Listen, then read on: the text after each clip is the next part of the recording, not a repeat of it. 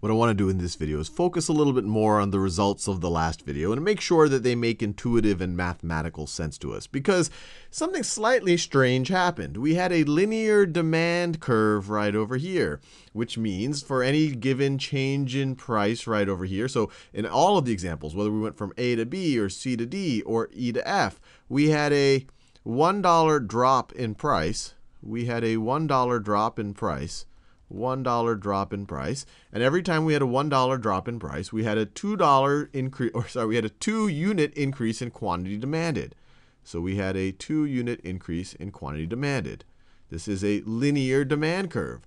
But despite the fact that for each for, for each dollar drop in price, we had the same increase in quantity demanded, the slightly maybe unintuitive thing that happened was we, we had a slight we had a different and actually a very different elasticity of demand. And you might imagine that probably has something to do with the fact that elasticity of demand is based on percentage change in quantity relative to percentage change in price instead of just change in quantity over change in price. If it was just change in quantity over change in price, we would get something, we it would be constant. But we saw very, very different results.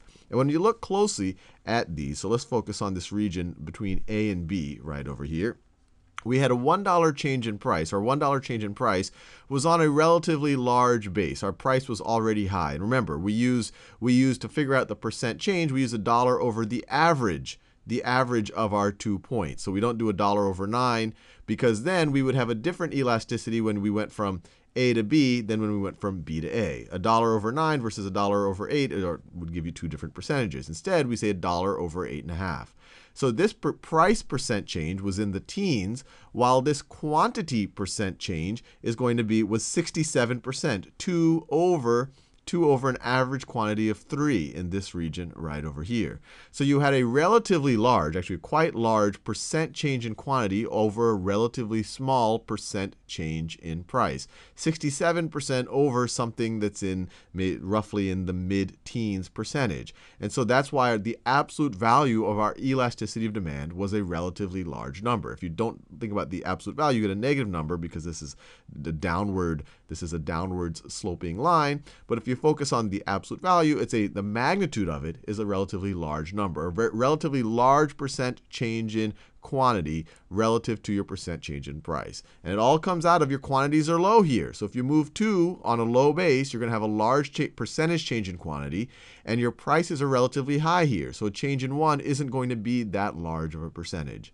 But when you have the your, when your absolute value of your elasticity of demand is greater than 1, like it is right over here. So when your absolute value of your elasticity of demand is greater than 1, it's usually called, this point in the curve is elastic or generally elastic. So this is elastic. Elastic. You get some nice percentage movements in quantity for a given change, percentage change in price.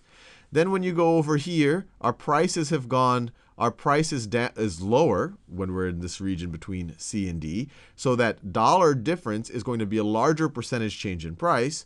And our quantities are higher. So that $2 change is going to be a lower change in quantity. And actually, they end up being the same thing because you have a dollar change in price over an average base of 5, right? The average between 550 and 450 is 5. So you have a 20% change in price, a 20% drop in price and you have a 20% increase in quantity.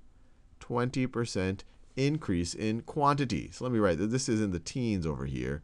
Uh, my writing's getting too small, so I won't do that. So you have a 20% change in price and a 20% increase in quantity. It's 20% because you have 2 over the average here, 2 over 10. So 20% increase. So that's why you, your elasticity of demand, or the magnitude of your elasticity of demand, is exactly 1. And if, you, if your magnitude of your elasticity demand is exactly 1, we say that you have unit elasticity at that point. Elasticity. And then finally, if you go all the way down here, our prices end up being quite low. Our prices are quite low. So a dollar change is actually a huge percentage price change, right? Our base here is, our average base here is $1.50 in this region right over here. And so a dollar over a dollar fifty, it's a huge, it's a huge, it's actually a, a, it's a it's a 60 it's a 67% change in price 67, yeah, that's right. Yeah, $1 is a two thirds change in price. So it's a huge percent change in price.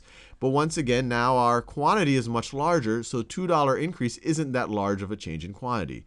So you have a smaller percent change in quantity over a large percent change in price. So that means that you're relatively inelastic. You're not getting you're not getting a lot of change in quantity for the, the magnitude of your change in price. And so if you're if the magnitude of the elasticity of demand is less than 1 over here, we call that either relatively inelastic or just inelastic. Inelastic. So I'll leave you there in this video. And just I want you to really kind of uh, internalize what we're doing here, especially with the math, and especially understanding why the elasticities change here. Get you thinking in terms of percentages, and also make you, uh, hopefully you appreciate why we're taking the average of these two points when we find the denominator for the percentages instead of just taking one of the two points so that we get the same elasticity of demand either direction we go in.